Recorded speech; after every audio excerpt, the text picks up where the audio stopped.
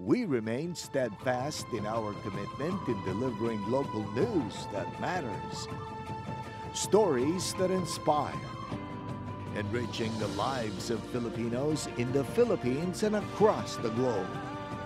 This is your GMA Regional TV.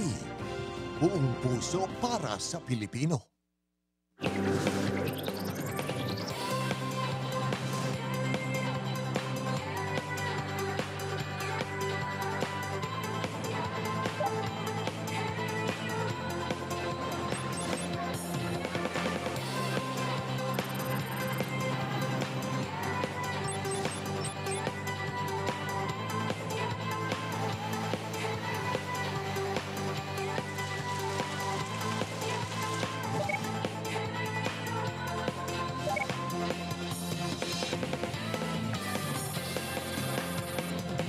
Ini ang GMA Regional TV Early Edition. Hi there mga puso. Good morning mga aga. You're watching Jimmy Regional TV Early Edition. Adlaw kita sang Webes, July 6, 2023. Hibaloon tanang nagapanguna nga mga balita sa Western Visayas. Ako si Caitlin Revilla, live dari sa GMA Iloilo Station. Kadasig sang inadlaw. Ako naman yung kapuso Eden Priatos live ikan diri sa Jimmy Bacol Station sa bungaga dala sa gihapon namon ang mga dalago nga mga balita kag impormasyon nga dapat ninyo mahibaloan bangod local news matter. Tutok na kayari ng pinakaulihing nga mga balita sa bilog nga Western Visayas.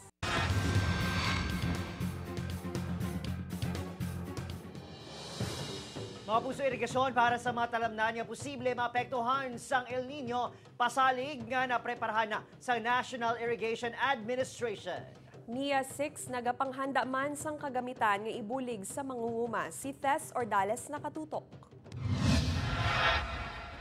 Opisyal na nga nagsulod ang El Nino phenomenon sa Pilipinas base sa statement kagin pagwa isang pag-asa kag isa sa mga pinakamapektuhan sinisiro sa Weather Bureau amo ang sektor sa agrikultura ilabi ng supply sang tubig para sa mga pananom sang mangunguma. Ang National Irrigation Administration Region 6 Sang bulan pa lang sang Mayo, nakaprepara na pinaagi sa pagpatuman sang rotational water delivery schedule sa mga irigasyon kung sa diin ginakontrol ang volume sang tubig na ginasupply depende sa pagkakinahanglan sang lugar. So, i-open natin ang irrigation for all the service areas at the same time. There is a possibility that may mga areas nga hindi na sila yung masamputan sa tubig kay ti- for example gamay ang water from the source kung buksan na naton tanan naton nga mga canals for everybody basi hindi enough ang water for everyone nga masustain sang ilang plants Ang TAGSA Irrigators Association naman ang in charge sa pag-monitor nga tayuyo ng tubod sang tubig sa irigasyon subong man sa maintenance. Ang mga mangunguma diri sa Tigom Pavia, Hunyo 18 pa nagpatigayon sang first cropping. Gani malain nga balita para sa ilang anunsyo sang pag-asa. Si Lolo Rinaldo nga nagapamursyento lang sa kumahan sa umagan, nagakabalaka nga hindi sini mapusla ng iya mga humay. Siyempre kung hindi mahimo ang tanom, pero siyo eh. Pwede kung may kung preparado ka man, daw hindi man siguro makuan kita. Parehas ang nagligad itong tuig nga El Nino, kumuha si Tasok, i, ang sa malayo nga kuan ka Tasok, di na epektuhan nila. eh. Magasto man kuno magbakal sa gato nga para sa pumping machine, apang wala inisang choice. Ang tasok niya nga tumanagid kadaan, ang iya nabilin nga mahimo sa ligan. Pasalig sa National Irrigation Authority, pananglitan kulangon gidman ang supply sang tubig sa irigasyon kung mangintuman kadako ang epekto sang El Nino sa mga pananom. May nakahanda naman nga water pumps, kagiban pa nga mga water extraction equipment para sa mga mangunguma. para nga magbulig sa ila nga if ever wala na tubig makatasok kag uh, makasige gyapon ng irrigation and that is in partnership with our LGUs no uh, kinahanglan naman ang support sa aton mga local government units Upod kay Hans Desierto. Sas Ordales para sa GMA Regional TV Early Edition. Apisar nag-anunsyar ang Department of Agriculture nga may bastante nga supply sang bugas sa third quarter sang tuig 2023. Nagapabilin gyapon nga mataas ang presyo sang bugas sa mga merkado. Sa merkado sang Laganes, Iloilo, ang sadto 1,750 pesos kada sako nga well-milled rice, 2,050 na ang presyo. Gani kinahanglan man nga magpamahal sang presyo kada kilo. Ang 40 tubtub 45 pesos kada kilo sang bugas, nangin 50 pesos na. Ang pagsaka suno sa manugbaligya nga si Arnel, nag-umpisa pa sang Mayo. Nagresulta ini sang pigado nga baklanay gani wala siya sang mahimo kundi magpalapaw sa oras ang pagbaligya tubtub sa gabi. Ang pila naman ka konsumidor na anad sa saka panaog sa presyo sang bugas. Ang early mga nag-open kung naaga tapos amo nag isa ma-close na kami halos gabi na para malagas na mo na nga mo nga binta bala ma'am. Nga simpre gabayad kami rental. May mga estudyante pa kami. Tidra na mo ginakuha tanan-tanan. Daway man magbago kag daw nagpropigado man ang mga sitwasyon namo kay kami li, liburer lang din nagapananom. Amo lang nati ang gobyerno ta siling damo man ang mga supply pero daw amo mangyapon kay ti ang mga balaknon nagsobra naman kamahal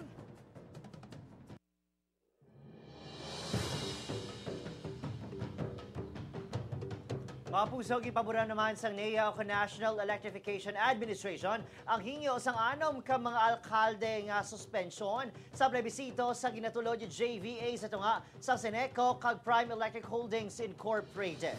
Sa NEA Memorandum nga napetsahan July 4, ginpaboran sa NEA nga suspendihon ang plebisito bango nagapati ini nga may basihan ng claims sa mga alkalde na tuhoy sa reklamo. Sa pagboto ka ang isang ginapahayag, nagkaladula nga ngalan kag mga inactive members nga yara gihapon sa voters list. Subong man ang pagsulong sa MCO Federation nga ginpangunahan o kun nga ginapangunahan ni Ernie Pineda bilang interim president sa Seneco Board nga ginapasuli nagtugas sang gamo sa talatapan sang Seneco. Ginpunto man sang niya nga counted na ang boto sang Hunyo 24 kag 25. Ang suspension sa plebisito ang hindi dapat maglapaw sang 60 days. I am constrained to suspend the referendum for the simple reason that the master list or the voters list, uh, which are the master list of the member consumers, that is not accurate uh, based on the reports of the mayors of the franchise area. I just want to make it clear here, Mayor's role in this referendum is just to make sure the sanctity of the voters list is preserved. Their primary objective here is to make sure that the voice of the ma- majority will be heard and counted.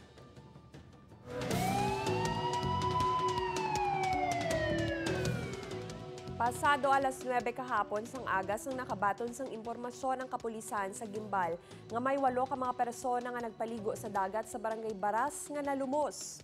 Sa pagpangusisa sang kapulisan, aksidente nga nakakadto sa madalom nga porsyon sang tubig ang mga biktima sang ginanod sila sang balod. Gintingwaan ang mga ini nga salbaron sang lifeguard, pati na sang personnel sang resort, apang tuman ka baskog ang balod.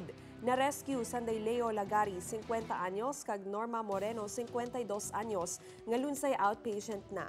Padayo naman nga ginabulong Sanday Zuela Zabdani, 23 anyos, Grace Abigail Moreno, 16 anyos, kag Crystal Faith Domine, na pulo ka tuig. Gindala naman sa ospital sa syudad si Rohani Zabdani, 19 anyos. Pasado alas 12 ang nakuha ang magutod nga Sanday Kyle, 15 anyos, kag Charles Cadavos, 16 anyos, nga gindeklara nga dead on arrival. Ang tiya kay bangod nga ang ginapaliguan da nga area medyo malubog na. So nag uh, ginhagad niya ang uh, mga kabataan nga mahalin sa uh, another man nga area pag nga medyo matinlo. So samtang nagapakadto to sila naka-step sanda sa isa kang daw medyo madalom nga portion sang uh, baybay kag uh, dito na nga ginano na sila sang balod.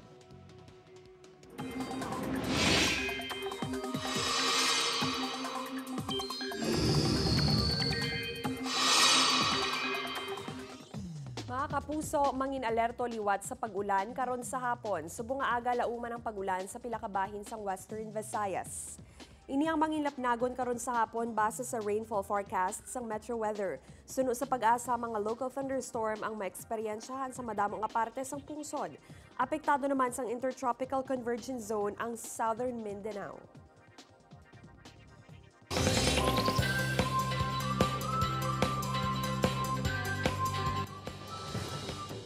Paglaom nga mabatak sa kaperdihan kag mapaayo ang serbisyo sang Central Negros Electric Cooperative ang tagdumalahan sini ang nagsulod sa joint venture agreement kon JVA upod sa pribado nga kompanya nga Prime Electric Ventures Incorporated.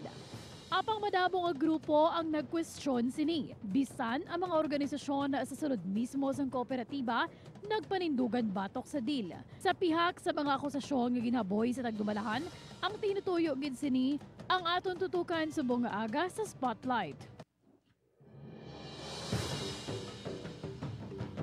Mga puso balasahon ta, kahapon nakaupod ta ang nagapamalabag sa JVA o Joint Venture Agreement sang Seneco kag Prime Electric Holdings. Incorporated subong naman niya aga ang nagaduso sang deal ang tutukan ta sa aton spotlight.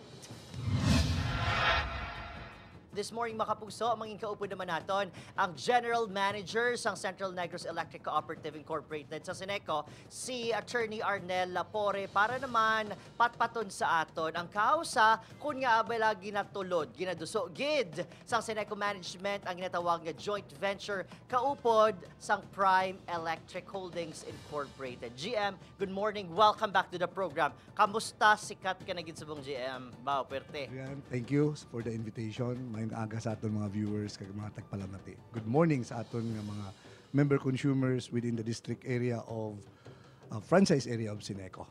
Nga bala, ginaduso gid sa aton Seneco Management kaupod sa aton Seneco Board and Board of Directors ining joint venture agreement, ining JVA. Ano gid bala ang pinakarason sang inyong grupo, sang inyong hanay? Uh, Adrian, ang Sineco subong makitaan mo ang operations niya apektado sa pamirdi sa bangod sang system loss. No?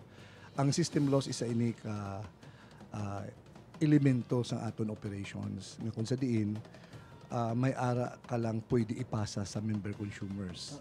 No? Ang sa bahin sa Sineco being electric cooperative is 8.25% nga cap. Now, our system loss nagalabot subong 11%. Now, ang pwede lang ipasa sa Sineco sa iyang member consumer is 8.25. The balance of about 3.75 has to be absorbed by Sineco. And that accounts about, uh, for every percent, about 10 million to 12 million. So, si Sineco as of April, ang system loss losses niya is uh, running about 47 million. No? And we see that this uh, joint venture agreement could help bring uh, a rehabilitated Stabilize the infrastructure. situation, the financial Stabilize. financial cri- crisis that Stop you're... the bleeding. Okay, stop the bleeding. Uh, As of now, Sineco has an utang, both external and internal borrowings. No, nahilabtan niya na ang retirement uh, funds, nahilabtan niya na ang bill deposits. No? Oh, it accounts about 800 million. This JVA is a, you know, is our best hope to survive. Taking into account the mega large uh, status of Sineco and the incoming uh, energy challenges no requirement sa aton nga within some franchise area ni Sineco particularly Bacolod the demand for upgrading sa imong uh, system requires massive capitalization. A substation alone accounts about 300 to 400 billion now with the GBA there is that commitment on the part of Prime Electric. Prime Electric has a commitment to infuse 2 billion to upgrade substation, to upgrade our lines, to upgrade our transformer. to meet the demands of, of city growing out to be, you know, more than highly urbanized and subong smart city ang aton proposition. Sir, I wanted to know, your position right now is general manager, pero ah, sang tinalikda naman niya si Mana, nagtipon-tipon ining member consumer owners federation naton kag nagbotohay sila sa panigbago nga representante sa mga MCO naton headed by Sir Ernie Pineda. So, anong posisyon mo subong kag anong posisyon nila? Never allowed under the law. No. I cannot find any provision in in law that would sustain such move. No. Why I respect sang ilang uh, pananawan, but no law can sustain that. Even NIA doesn't uh, subscribe to that idea. To become a director, you need to qualify. Dapat wala ka mautdan, wala ka ma-remove. Sa dra pa lang nga daan nga requirement, si Mr. Pinida nag-disqualify na. Because he has a removed meter. He has not paid nine months bills. So his uh, meter was removed. If you are a candidate for a director, you will be disqualified. How much more if you will just impose yourself to be a director? I, I needed to get your comment. Kaya siyempre, nagpungko man siya sa sininga bangko, kag naghambal man siya, ginpatpat man sa aton, nga mapasaka siya kaso against you because it's some, somehow kung sir gingamit mong imo posisyon para kalkalon ng iya sininga personal information. I need to see who these people are. And this is not private records, it's a public records. There's nothing personal there, there's nothing private. And uh, one who is uh, professing qualification, we need to see the qualification if indeed it's present. Okay. So, uh, well, I, I, I uh, challenge accepted. If he wants to file a case, most welcome. Tapos naman subong ang mga naglain-lain nga mayores nga under Sineco jurisdiction.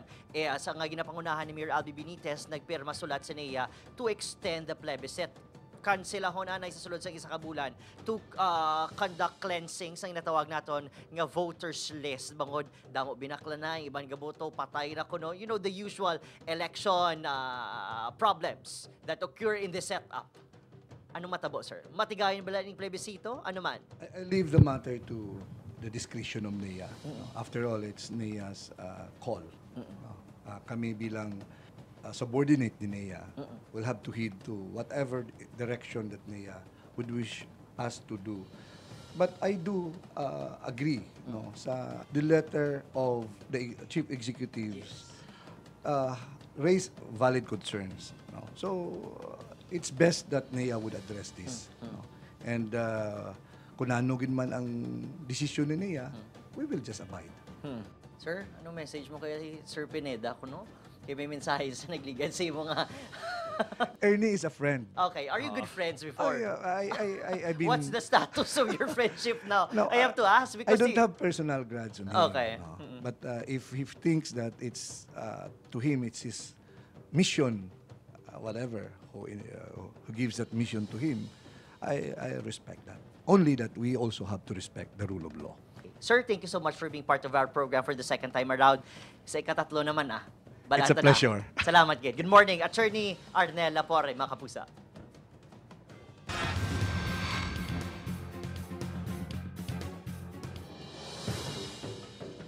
Kag sa iban pa nga mga balita mga puso ginkumpirmar naman sang tagpamuno sang Bacolod City Police Office o BCPO nga si Colonel Noel Alino nga nag-resign sa serbisyo ang pulis nga si alias RR. Si alias RR mga kapuso ang katapos ng drug operation sang Police Station 2 nga gihingadlan nga protektor sang madurugisa sa barangay. Ang ngalan sinili ang nadala sa lisahan nga kaupod sang utod nga mga kamot nga ginbilin sa basurahan sa Barangay 2. Yara ini sa isa ka mandatory continuing education program sang PNP tion sa among insidente. Nagapati si Alinyo nga madurugi sa man lang ukon criminal group ang yara sa likod sang pagkasapo sang mga parte sang lawas sang tao kag isa ini kasahe sang pagpamaho. Ini ang GMA Regional TV Early Edition.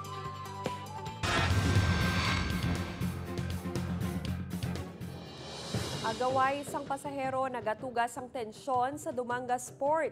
Isa ka taxi driver nagreklamo nga ginkastigo sang tricycle driver. Ini ang gitutukan ni Tess Ordales. Nagapanawagan subong ang Association of Taxi Operators in Panay sa Dumangas Local Government Unit nga aksyonan ang problema sa Dumangas Port. Ini matapos isa ka taxi driver ang ginaligargin kastigo sa isa ka tricycle driver malapit sa entrance ng pier. Ang insidente nagluntad sa Hunyo 27 subong tuig. Ang ginatudlong ang habangdanan, agaway sa pasahero. Ang ambal niya kasi ma'am, ang sukot kasi ng tricycle driver is 700. Ang ambal ng senior citizen ay sa kwarta. Tapos namangput siya kung pwedeng 500. Ang, sa, ang, ang ambal ng tricycle driver hindi pwede. So ang ginawa, siyempre, no choice yung senior citizen ay sa kwarta. Naglakad siya palabas ng port. And then timing, nagatid ako ng Dumangas Port. Palabas na ako. Pagbukas niya, suntok, tadyak, sipa, sipa. Madasig na nag-report sa kapulisan si Nilo kaginupdan manini nga pangitao na nagkastigo apang wala na naabtan. Ang mga tricycle driver sa lugar wala kuno makakilala sa iya. Hindi mo na mo kilala to. Ang taxi hindi man. Kag wala man di sa amon yung terminal. Malayo to di ang ila ginawa yan. Subong ang atop magabulig kay Nilo nga makatipon sa ebidensya agud mapasaka ang kaso kag mapanabat ang may kahimuan sini. I think this, this should come up with something like a policy, know, and uh, like for example, you know, uh, we try to respect their decisions, you know, to have a, a, a queuing uh, lane uh, at the port area for tricycle. But this should not be also deprive the other denomination. Ang port management mas ginpahugot pa subong ang pagpatrolya sang kapulisan agud masiguro nga hindi na ini maliwat pa. So ginapangabay ko lang sa ilang ilang nga cooperation uh, to maintain uh, peace and order. Kay ti siyempre uh, this is uh, still uh, part sa jurisdiction sang sang PPA. Nagpasalig man ang local government unit nga solusyonan na ang problema sa pantalan. Sa ginkasugtan nga rekomendasyon sa konseho sang Banwa, temporaryo nga ginbutang sa trading center ang mga modernized jeepney kag taxi kung rin sila magahulat sang pasahero. Samtang ginsugtan naman ang tricycle sa gwa sang port. Pero ginathag sang LGU nga wala ginadumilian nga mag-pick up sang pasahero ang taxi, subong man ang tricycle sa gate sang puerto. Patalaman naman ang sulat ng ilang nga presidente, kumpil na siya na ang ipatupang sa amo ng mga ilang tricycle driver. O kung base bala, hindi man to siya man tricycle driver, si base bala mga barker lang dahil lang ano man, kurari liman lang na, kaya nagapangita papagi ang LGU, na makaangkong kita gira sang uh, luti sa guwa sang perimeter pin sang PPA para himuon nga transport terminal. Upod kay Hans Desierto, Thes Ordales, para sa GMA Regional TV Early Edition.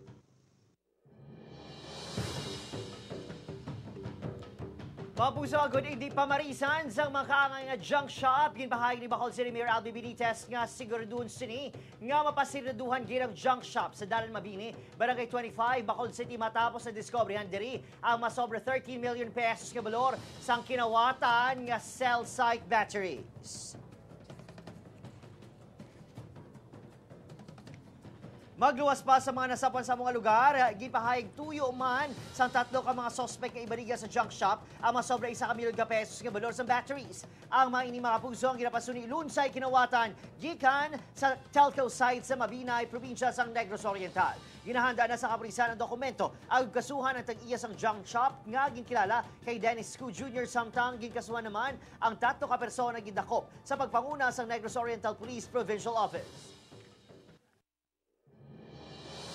Posible hindi naman makahatag sang bulig pinansyal ang Capiz LGU sa hog racers nga apektado sang African swine fever. Suno kay Capiz Provincial Veterinarian Dr. Leonel Abordo, yara na sa 17 ka mga LGU sa Capiz ang nahalitan sang African swine fever. Gani gilayon nga ginpaydalom ang probinsya sa state of calamity. Apisar nga mahimo na magamit ang calamity fund, hindi naman bastante ang pondo agud mahatagan sang financial assistance ang tanan nga nagasagod sang baboy. Sa Baylo Kwarta, mabakal na lang ang LGU sang ASF vaccines agud mapanagtag sa ginasagod nga baboy. Ginatiga naman ang pondo sa mga kalamidad ukon emerhensya, ilabi pa nga wala pa natapos ang tuig. tanan ni Banwa affected. Almost everybody is affected. Tapos, so, uh, giving cash assistance sa amo nga number of families or racers affected, I believe, kulang atong punto.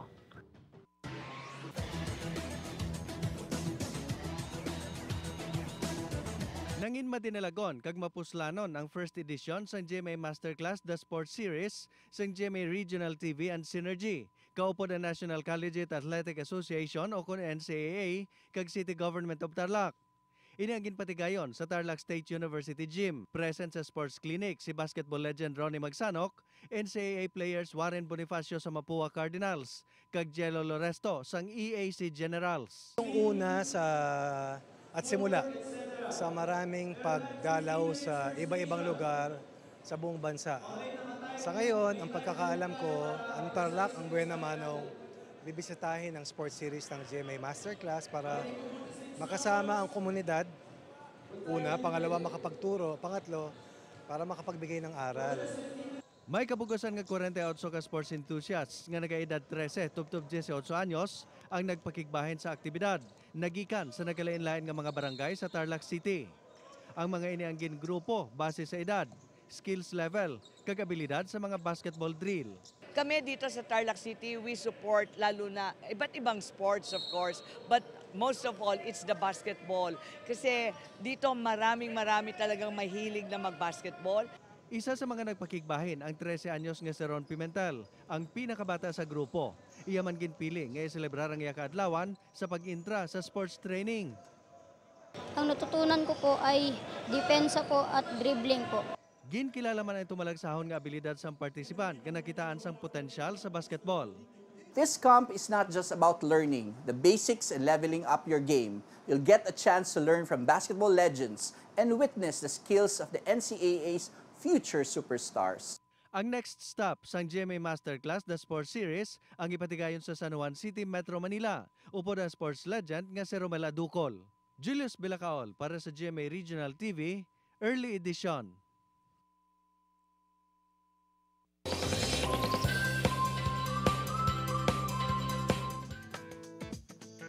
Mga hindi lang sa mga salon kaya sa stage, sarang makarampa ang mga LGBTQ plus members, kundi pati man sa basketball court. Iniilang ipamatulaan sa natapos lang ang Basketball Games 2023, kung sa diin nagsamuha ang gays, representing Kalaparan, kag syempre ang gays, ga fresh from Gumarat. Gin-organize ni Mr. Philippine Youth Iloilo Fair Dulalia ang ining event sa tinutuyo nga mapasadya ang mga taga-kalaparan. Kag bisan paano madulang ila stress bisan sa makadali lang. Wala sang untat ang cheers ng audience sa ila team nga ginasuportahan, bangod ang kada isa wala lang nagadribble kag nagashoot sang bola, may signature poses pa.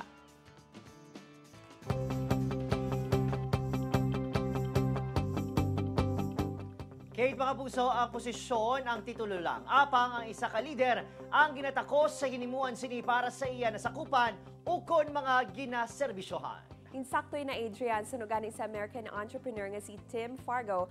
Leadership is service, not position. Pareho sa mga opisyal sang Seneco silang ginbutang sang mga miyembro konsumidor kag tag-iya sang kooperatiba. Gani nagakaigo lang nga sila ang magdesisyon base sa kayuhan sang tanan. Madabog yung salamat sa pagtutok diri sa amo sa Jimmy Regional TV Early Edition of the night itahalin lunes ug biyernes. Mahimo ninyo malantang aton episode sa www.gmaregionaltv.com kag mag-subscribe syempre sa aton official YouTube channel, GMA Regional TV. Mga kapuso, best things occur to those who hustle, create your vision and make it happen today. Ako si Caitlin Revilla. Kao naman sa Idan Priatos, buong puso para sa Pilipino.